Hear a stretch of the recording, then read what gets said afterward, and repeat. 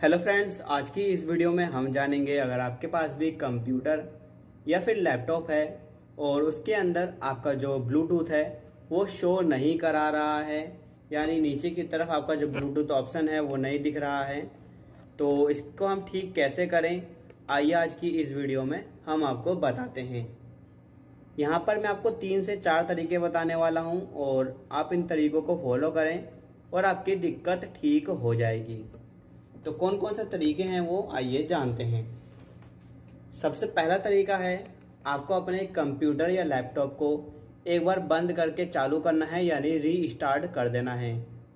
इसके बाद आपकी दिक्कत ठीक हो जाएगी। अगर इस तरीके से काम ना बने तो यहाँ पे आप दूसरा तरीका फॉलो करें। आपको विंडो बटन प्रेस करना है सेटिंग्स में जाना है। सेटिंग्स में जाइए। और यहाँ पे आपको मिलेगा एक ऑप्शन मोर ब्लूटूथ सेटिंग ये चीज़ आपको यहाँ पे मिलेगी, वरना नीचे की तरफ़ मिल जाएगी। तो सबसे पहले अपना ब्लूटूथ चालू करें और मोर ब्लूटूथ सेटिंग पे क्लिक करें। यहाँ पे आपको मिलेगा एक option show the Bluetooth icon on the notification area इस वाले ऑप्शन पे क्लिक करें अप्लाई करें और ओके कर दीजिए। आपका जो ब्लूटूथ का आइकन है, वो नीचे की तरफ़ शो होने लग जाएगा। आप देख सकते हैं। अगर तब भी शो नहीं होता है तो दूसरा तरीका फॉलो करें। दूसरे तरीके में आपको क्या करना है? दूसरे तरीके के लिए आपको दिस पीसी यानी माई कंप्यूटर ओपन करना है। और ओपन करने के बाद आपको नीचे टास्क बार पे राइट क्लिक करना है। टास्क बार पे नीचे की तरफ़ राइट क्लिक करें और यहाँ पे आपको मिलेगा टास्क मैनेजर इस पर क्लिक करें। फिर आपको यहाँ पे मिलेगा एक ऑप्शन। तो यहाँ पे आप सर्च करें विंडो एक्सप्लोर, वरना नीचे की तरफ़ आपको ये ऑप्शन मिल जाएगा।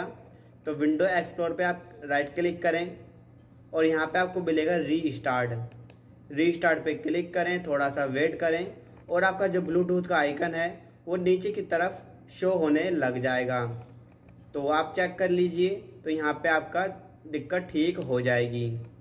पर इस तरीके से भी काम ना बने तो यहाँ पे आप तीसरा तरीका फॉलो करें। कभी कभी क्या होता है कि हमारा जो ब्लूटूथ का आइकन है, वो इस वाले ऑप्शन में हाइड हो जाता है। तो इस पर क्लिक करें। इस पर क्लिक करने के बाद आपके जो भी ऐप्स होंगे, वो दिखा देंगे। तो यहाँ पे हमारा ब्लूटूथ आ चुका है। आप इसे उठा के बाहर की तरफ़ कर लीजिए। तो आपका जो ब्लूटूथ का आइकन है, वो यहाँ पर शो हो जाएगा। पर अगर इस तरीके से भी काम ना बने तो यहाँ पे आप विंडो बटन प्रेस करें। यहाँ पे आपको मिलेगा सर्विसेज़ तो सर्विसेज़ पहले सर्च कर लीजिए। तो हम सर्विसेज़ सर्च कर लेते हैं। सर्विस सर्च करने के बाद आपको यहाँ पे एक ऑप्शन ढूंढना है, जिसका नाम होगा ब्लूटूथ सपोर्ट डिवाइस तो यहाँ पे आप देखिए तो यहाँ पे हम सर्च कर लेते हैं बी से। तो नीचे की तरफ़ आते हैं हम। तो ये रहा ब्लूटूथ सपोर्ट डिवाइस आपको इस पर राइट क्लिक करना है। यहाँ पे आपको मिलेगा प्रॉपर्टीज़ प्रॉपर्टीज़ पे क्लिक करें। प्रॉपर्टीज़ पे क्लिक करने के बाद आपको थोड़ा सा वेट करना है और यहाँ पे आपके पास आएगा एक ऑप्शन स्टार्टअप टाइप आप इस पर आइए और इसे मैनुअल पे सेट कर दीजिए। अप्लाई कर दीजिए ओके कर दीजिए और आपकी दिक्कत ठीक हो जाएगी। पर अगर इस तरीके से भी काम ना बने तो आप चौथा तरीका फॉलो करें। चौथे तरीके के लिए आपको अपने दिस पीसी यानी माई कंप्यूटर पे राइट क्लिक करना है।